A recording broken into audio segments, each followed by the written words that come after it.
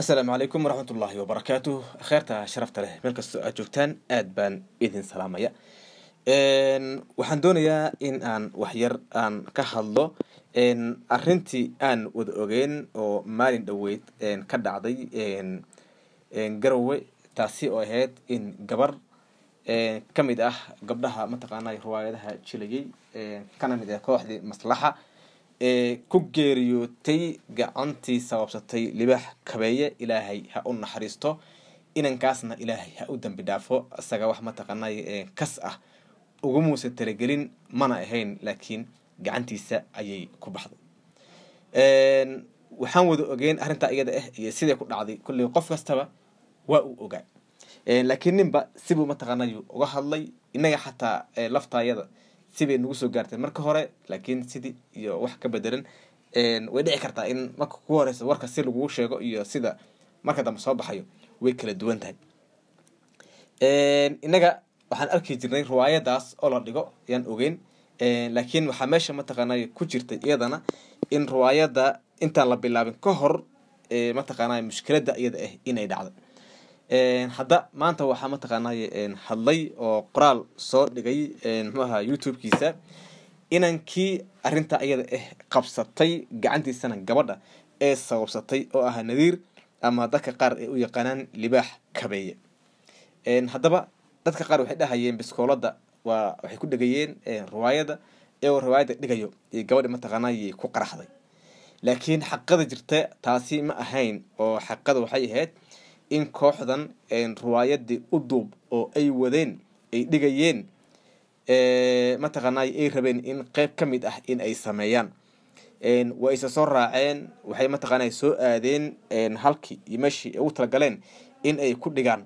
Iyaga oo mataqaana saaran gaariga. Marka gaariga waxaa wada saarnaa sidana loo xaqiijiyey marka iyada ah ninkii ahaa asad diyaabi xamdi kaxeeso gabadhi kale mataqaanay mxuu ahaa talisada gabadhan anisa ee hadda mataqaanay geeriyootay iyo libaax kabeeye yaa intaas mataqaanay yay ahaayeen kadibna waxaa dhacday in gabadha oo mataqaanay labada gabdhood horta askar bay ahaayeen talisada iyo gabadha kale hadda dhimatay ilaah ha u naxariisto labadoo askar bay mataqaana yay ahaayeen in gabadha hadda dhimatay anisa in ay mataqaana biskooladii ay mataqaana kaga dhigtay baashidii ay kari weyday kadibna uu libaax kabee ka qaaday xabadina sida iyada mataqaanay ay ku fakatay gabadhi kaga fakatay isagoo mataqaanay aan ugu talagelin talidiisana aana ahayn mataqaanay arrintii sida ayada ah ku dhacday.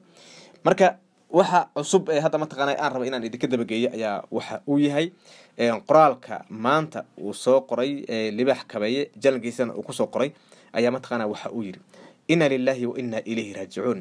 Ilaahay janatulfirdowsa ha geeyo walaashay anisa cabdicasiis wuxuu leehay ilaahay jannada ha geeyo walaashay anisa cabdicasiis runtii marnaba ka bixi maysa qalbigeyga runtii marna qalbigiisa kama baxayso oo waxaa yeelay waa geeri xanuun badan waa geeri aad mataqaana u taabatay qalbigiisa adiga oon lahayn qofkan isaga ah aad dishid oo waxba idinka dhexaynin cadaabad iyo cuqdad iyo midna idinka dhexaynin haddii mataqaana haddana gacantaadii qofkii asaga saaxiibka ahaa ee aad wada socoteen uu gacantaada uu saabsado adiga laftaada waad garan kartaa waxay aad dareemayso marka waxaa uu yiri qalbigay ka bixi mayso geerida walaashay waxa ay sababsatay gacantayda waa runtii gacanteeda sababsatay laakiin isaga wax uu ugu talagalay ama aadishid uu lahaa ma ahayn laakiin kulley waxaas waxay ahayd wax ilaahay uu talagalay una qorna maalinkii uur hooyadii uu ku jiray waxa uu yidhi bistoolada gacanteeda ayaan ku hayay muxuu yidhi xabadana si kama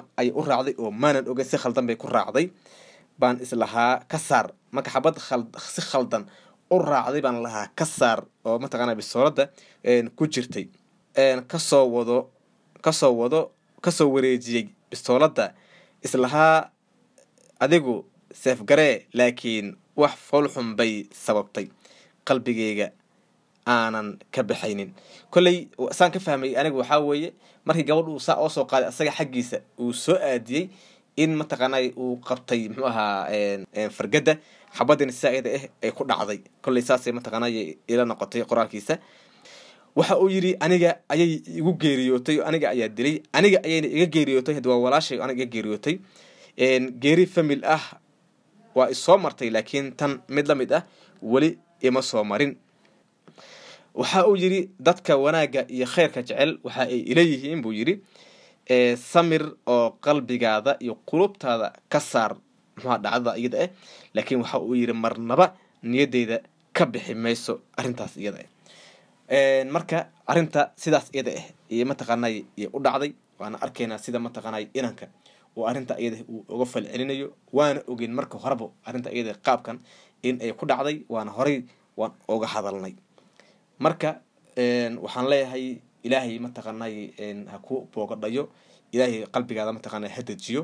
Waa la garan karaa. Qof mataqaanay geeriyooday oo gacantaada sababsaday in aysan fududeen. Aad bay mataqaanay u adag tahay.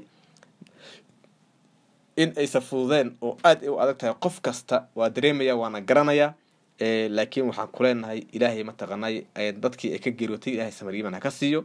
Iyo dhammaan ummadda soomaaliyeed adigan ilaahay qalbiga ha kuu qaboojiyo ilaahayna ha kaa saaro waxa mataqaanay aada dareemayso. Mar kale waxaan la talinaynaa dhalinyarada soomaaliyeed ee iyagana filimaanta dhigo in waxyaabaha caynkan oo kale ah in ay si aad ah aada u weyn in ay oga digtoonaadaan. Maxaa yeelay maxaa yeelay markii mataqaanay filimaanta la dhigayo inta badan laguma dhigo wax mataqaanay biskoolad caadi ah laguma dhigo qori caadi ah waxa lagu dhigo waa wax mataqaanay sidiisaba falis ah waa wax aan shaqaynin waa wax damish ah oo haddii qof ku dhaca hataa aan waxba aan ka tarinin inkasta oo tan iyada ah ay ku dhacday idinkoo gaariga sii saaran ee arrintan iyada mataqaanay idin qabsatay. Laakiin waxaan horay aan u arkaynay idinka oo mataqaanay ku dhigayo riwaayadda lafteeda in idinka oo qoryo wato idinka oo qorigii mataqana isku waxeynayo ku dhigayo yaa mataqaanaya horay yaa u jirtay. Taasayna dad fara badan yay ka hadleen ayna idinku eedeeyeen idinka laftiina in aad mataqaanay xabad nool aad ku dhigeyseen maadaama qorigii ak aad saddexdii qeyba u horreysay mise afartii qeyba horeba aad mataqaanay aad ku dhigteen. Taasaa dhaliisha yay ka timid ee meel kale ma ahayn. Waxaan leeyahay dhammaan dadkii ee gabadhaasi ka geeriyootay ilahay samir iimaan ka siiyo qalbiga ilahay ha u qaboojiyo inanka libaax kabeeye ee isagana mataqaanay qadiyadan gacantiisa ee ku dhacday isagana waxaan leeyahay ilaahay ha kuu boogadho ilahay qalbiga ku dejiyo ilaahay mataqaanay kolley arrintan iyade wax aad kas aad u samaysa mahan waa qof aad jeceshahay walaalkaabu ahaa ilaahay mataqaanay qalbiga ha kuu qaboojiyo ilaahayna ha kaa saaro wixii mataqaanay kugu jiro oo mataqaanay arrinta iyada ay ku raado ay kugu reebtay waan ognahay raad aad u daran mataqana kugu reebaya jifla-aan iyo joog la-aan yuu qofka mataqaana yuu noqonaya ummadda soomaaliyeedna mataqaana waxaan leenahay meel kastoo aad joogtaan haloo soo duceeyo dadka iyaga ah ee arrinta iyada ah ay qabsatay. Weliba ninkan isaga ah ee libaax kabeeye ayna ku naqaninin uu yahay aan reer dhib midna aanan ahayn. Daawadayaal intaasaan ku soo koobaynaa barnaamijkan kooban. Barnaamijkan mid la mid kulmen saasi nabad gelyo